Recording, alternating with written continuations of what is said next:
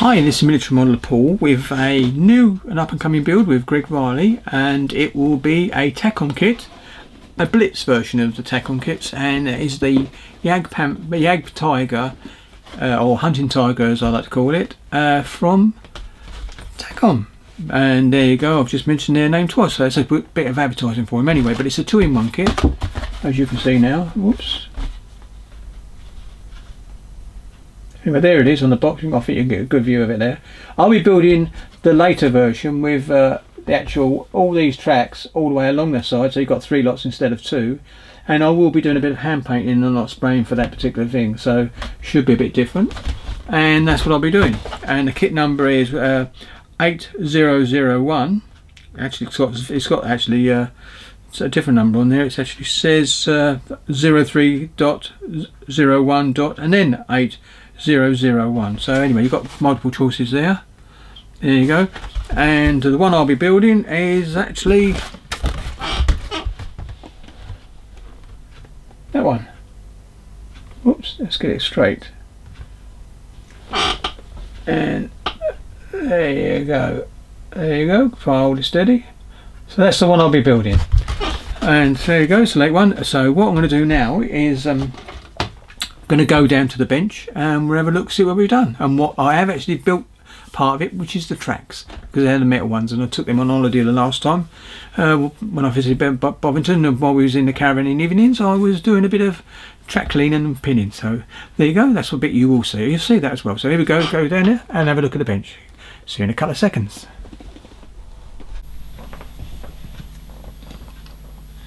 Right, here we go then. So we're at the bench now, as you can see. I've managed to get me uh, the thing done. And, and good, good thing with smaller boxes, well this is quite a big one, you see I've got a split there, that's me did that. Uh, when I was on back in it when I got it if the kit originally. So there you go. So this is what we're going to do. Let's kind of look in the box now. Let's have a look out. Take this lid away. I'll put it over here so I can actually put stuff in. I don't know whether that's going to be yeah bits bit in shot but not too bad there you go that's okay so and this is the instructions we'll look at that at the end so I'll put that over there on top of the old uh, Battleship 1, the old 200 uh, HMS Nelson. This is the photo and it's quite comprehensive. I'm not going to undo it because it's pointless until you need it. You can see there's quite a bit there. So, not nice bits of, bits of P there. Now, what I will say now is I built these up. I'm not going to take them out of the bag, but I will do. Will do. I might be able to do that. Take it out of the bag. I'll take one of each. I'll take them all out.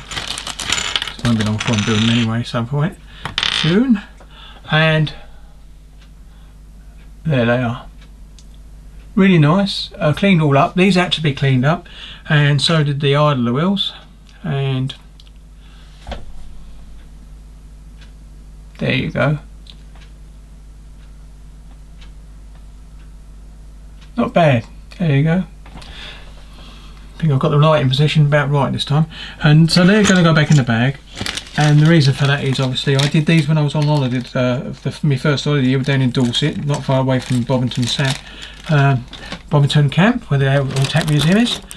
I used these as well to actually build the tracks and get the right number of links for the metal uh, tracks that I've actually got. So there you go.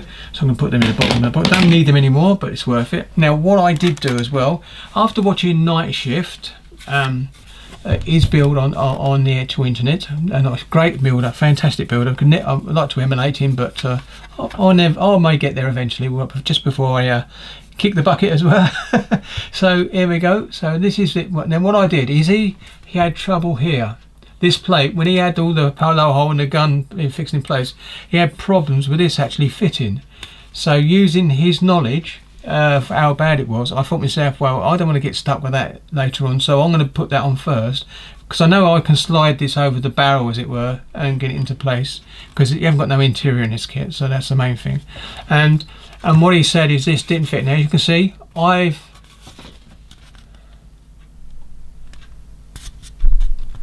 I've actually done it and you've got gaps in it, that's no problem because I'm going to be real doing exactly the same as uh, he did and using putty to actually make the weld seam so that's okay. Now there's a lip there and there is a lip on the real vehicle so that don't uh, not put that there. And underneath I managed to get it to fit nice and all and that's exactly as it should be. I don't know if you can see it. There you go So everything's lined up for that now. So that's one job out of the way. And and I thought it was going to be a hard job, but it wasn't. It was harder for obviously for night shift because he had to do it actually while it was all in trying to get it in situ. So there you go. I'm mucking about back and forward. So well here we go. So this is some of the parts. This is the parts. And there is bits missing here, obviously. In fact, if I take this away, if I put that over there, excuse me, move that over there out of the way put it that way. Oh, you'll see it, but it doesn't matter. Uh, but might be able to get a a better view of this now. And there you go. That's not bad at all. And I like this with the old letters at the top, so you don't have to even do anything. You've got a lovely bit there. But you can see how good the details are. If I come up a bit higher, actually. There you go. Lots of nice, lovely details there. I'll put that up there out of the way. Move that. Here we go. Decals. These are really nice if I do this. Sorry about the reflection, but I can't see the point in taking them out there. But the decals are quite nice. There you go. This kit was in done in 2019, so not too old at all, really. There's a little um, update when I'm doing number two. I found that out now. On the instructions, when it says 9-2, that's the late version, and 9-1 is the earlier version. I mean, not much earlier, but it was an earlier one. There you go. And as I took them all out of the packet to make life easier, it's even better. There you go. So if I do this, and these are the road wheels. So if I come down here, they're nice.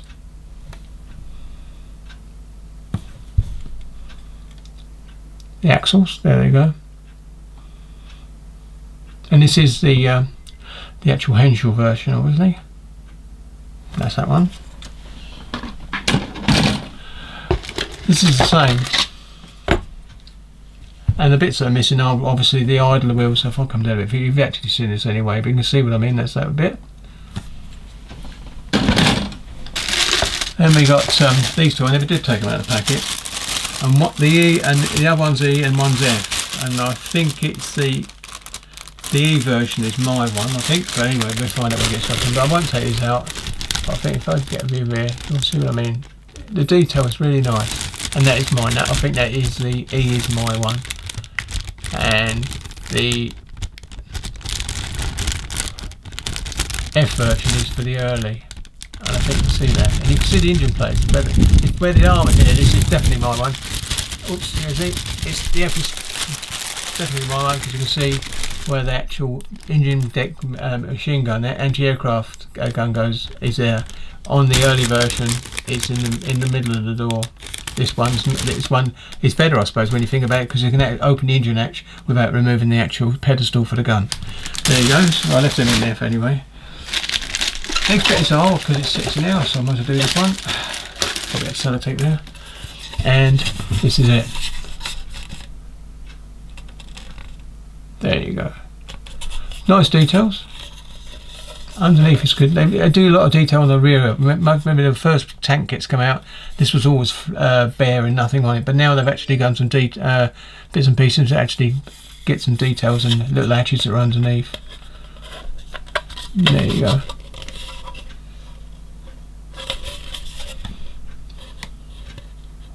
As you see, no details as such inside. And the next bit is, oh, I'll put that paper bag over there, is the fenders, which I've got replacements for, as you know in the photo etch, so that's okay. Um, nice details. I've got some clasps, I think I've got 35th scale flat, flat, um, tool clamps and everything for this, so I would be knocking off anything unless they've got plain. Sometimes they put plain ones in without those odd tools without the clamps on, but it doesn't mean you can clean them up anyway. But yeah, so if I just go a bit higher.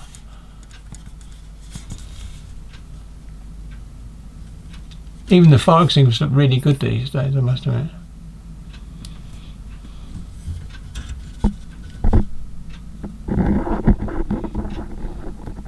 And there you go.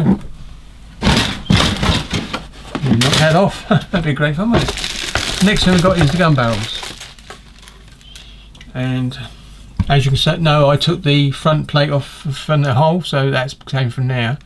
And there's the uh, gun mantlet. This is in rear of the cat, uh, fighting compartment. where the actual double door goes in, big heavy duty door. And then the gun there, you can see the gun there. The detail's really nice.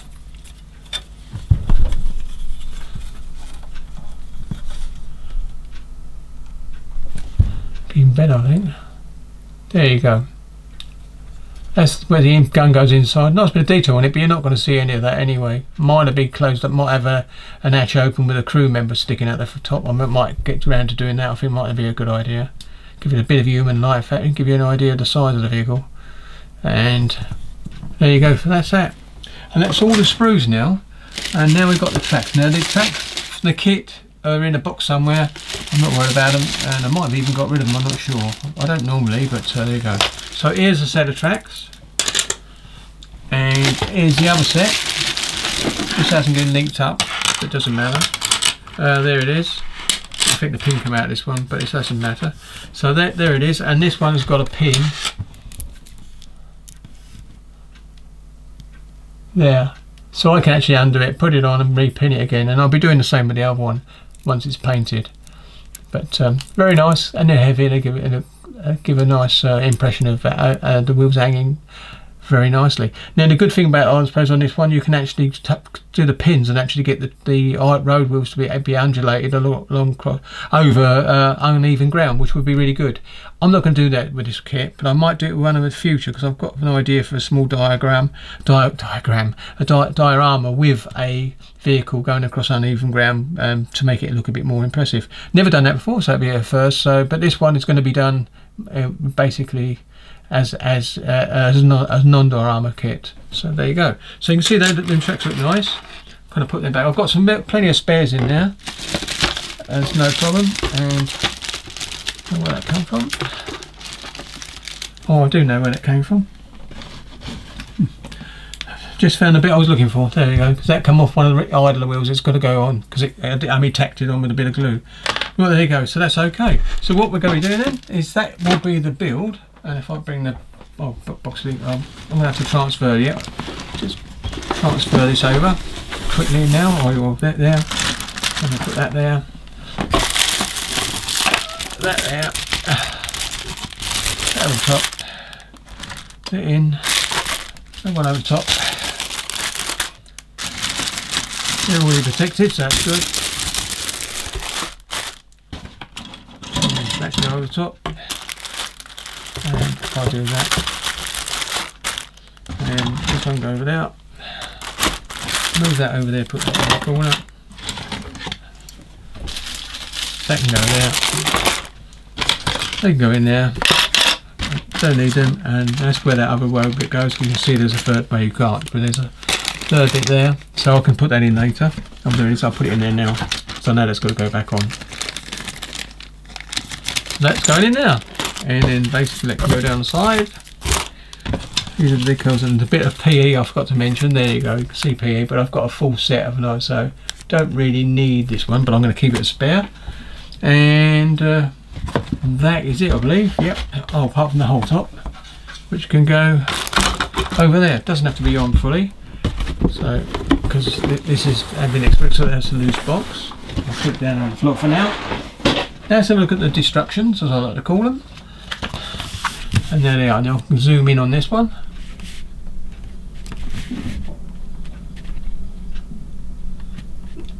Now if you want to read them you can.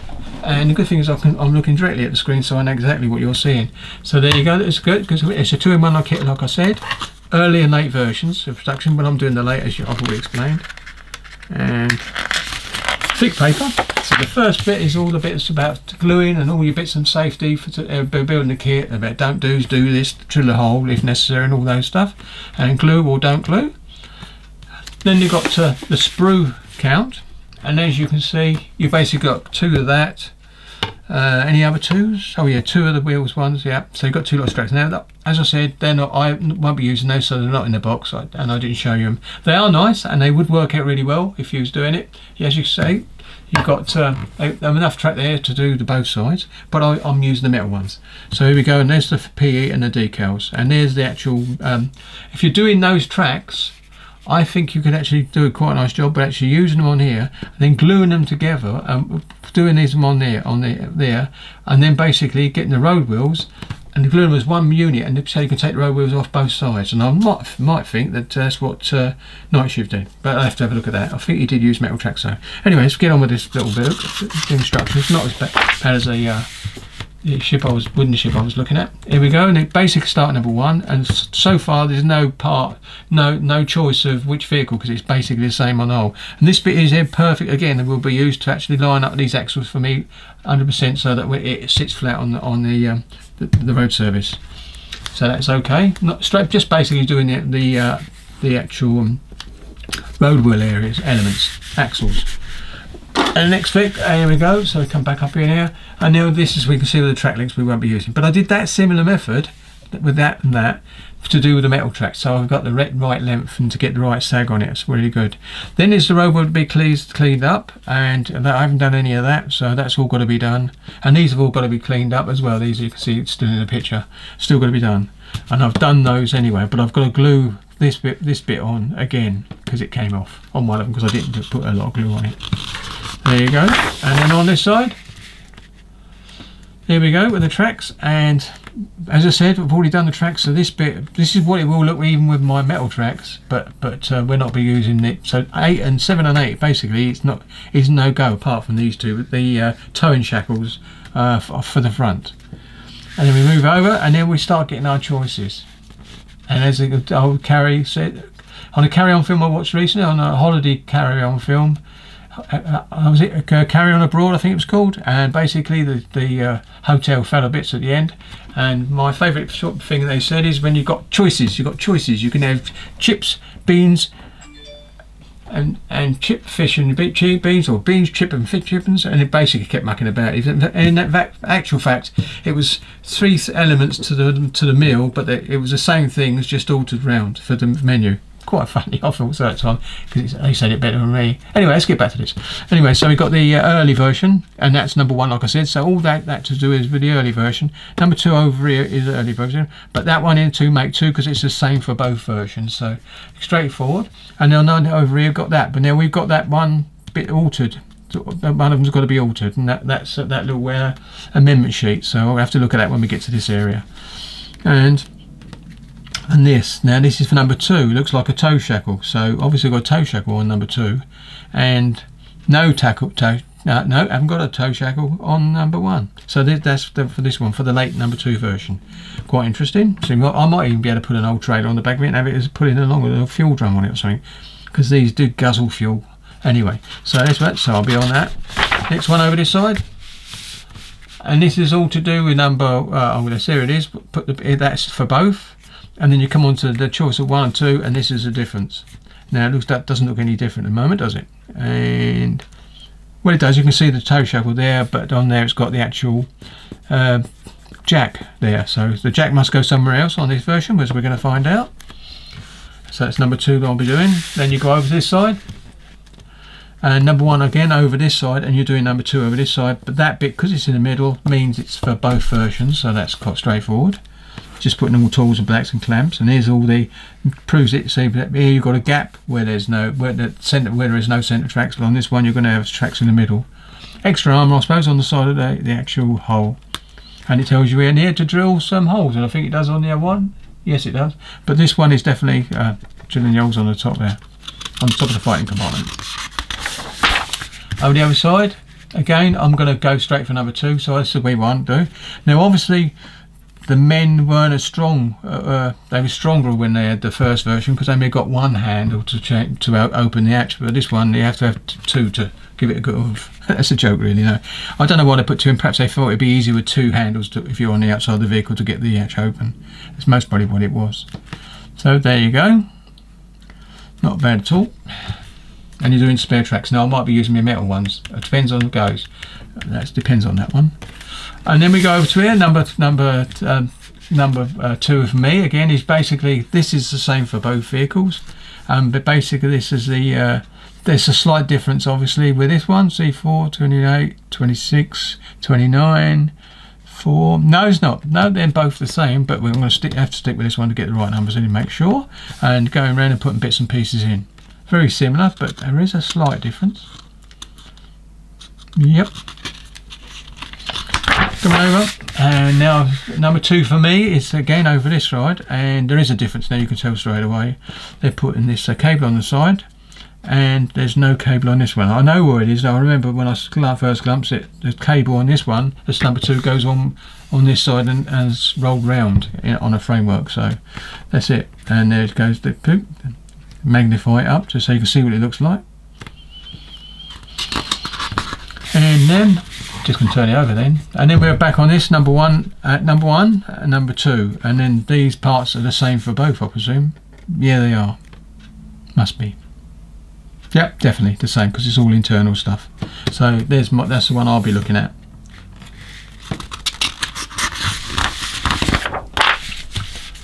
Then we're over on this one. Number one again I won't be looking at but it's very similar but this one is me. What's up here?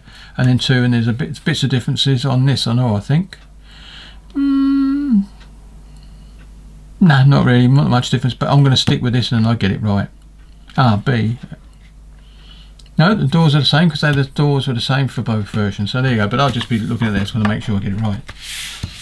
And over we go in. This way we, we can pick out the differences straight away. This is number one.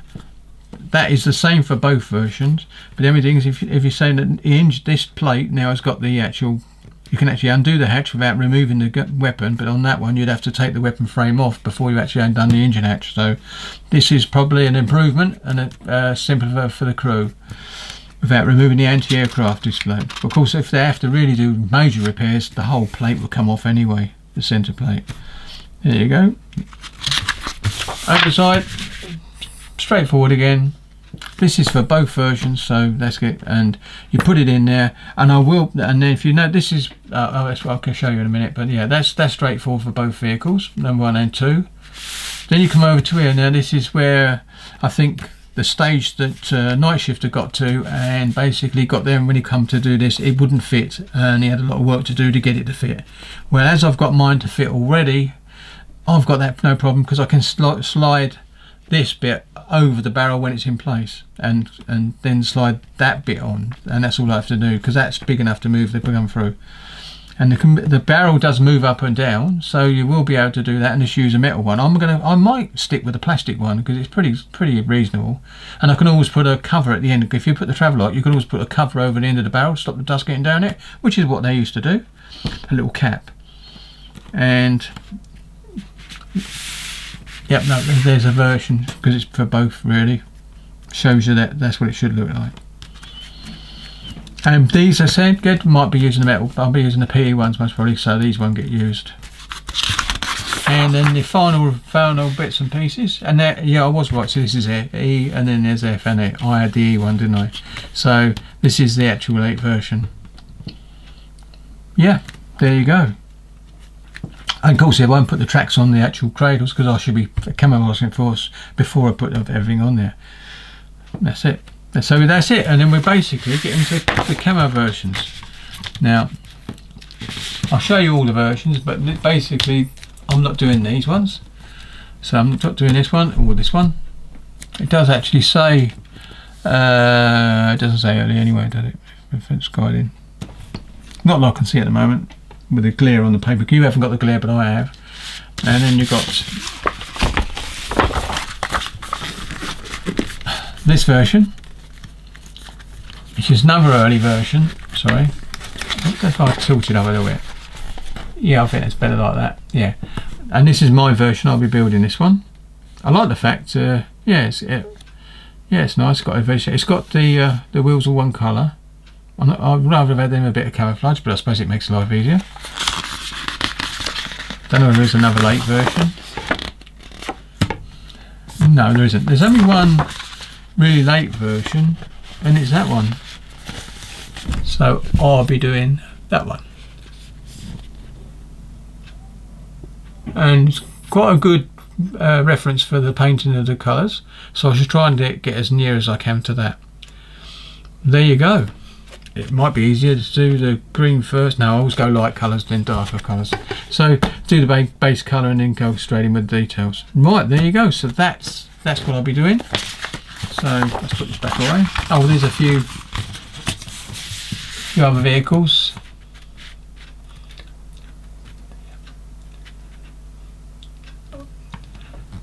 I haven't got that. I've got this. Uh, this. I don't think it's a TAC conversion. I've got.